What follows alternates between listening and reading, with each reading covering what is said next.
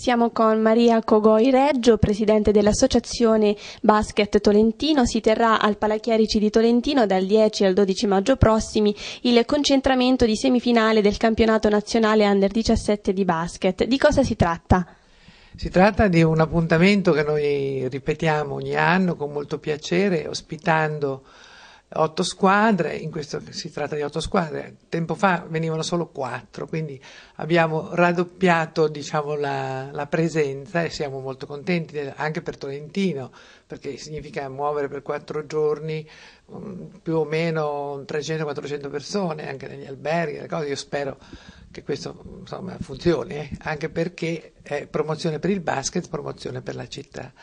E le squadre sono di, di, di, tutta Italia, sono rappresentate tutta Italia, dalla, dalla, squadra di Reggio Calabria alle due squadre di Venezia,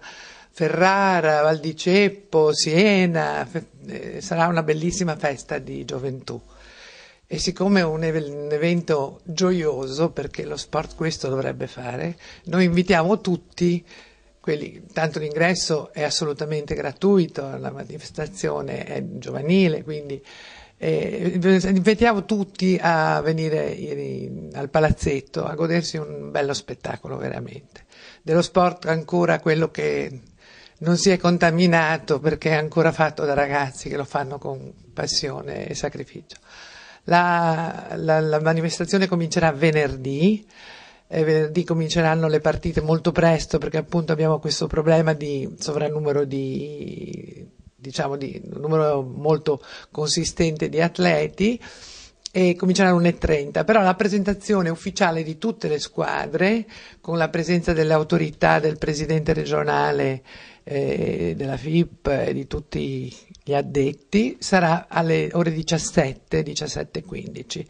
eh, penso sia stato invitato, sicuramente presenterà il sindaco e l'assessore allo sport e spero anche in una presenza almeno di, di giovani che in que- a quell'orario lì sicuramente purtroppo non sono al lavoro.